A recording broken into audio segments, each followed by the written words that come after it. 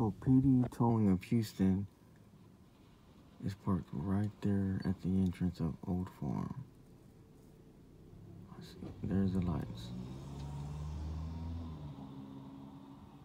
So somebody's giving them the heads up on what's going on inside.